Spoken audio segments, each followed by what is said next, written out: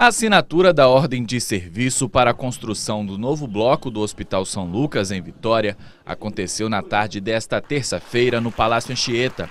Assinaram o documento o governador Paulo Artung, secretários e representantes da empresa responsável pela obra.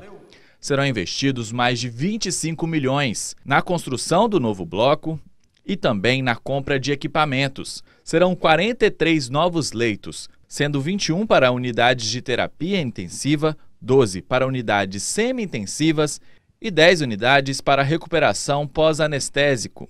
O edital para as obras do novo bloco do Hospital São Lucas foi publicado em março. Em abril, a empresa vencedora foi anunciada, mas, segundo o governo, por causa da burocracia, as obras não começaram.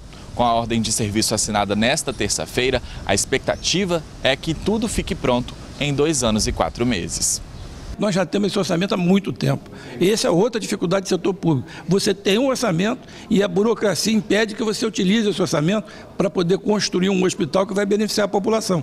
A regra, a regra de funcionamento da gestão pública é que atrapalha o processo de você construir o hospital, por exemplo. Então, assim, o orçamento já está definido há muito tempo, né? não tem problema de dinheiro, isso não vai depender, não é recurso que vai depender do governo, do governo seguinte. Este governo já tem esse recurso em caixa, né? são 26 milhões milhões, são 16 milhões e 800 de obra e 8 milhões e pouco aí só para equipamento. Então, nós não temos problema de recurso. O que nós tivemos foi que venceu uma burocracia enorme para poder é, chegar nesse momento que chegamos hoje, que é publicar o edital.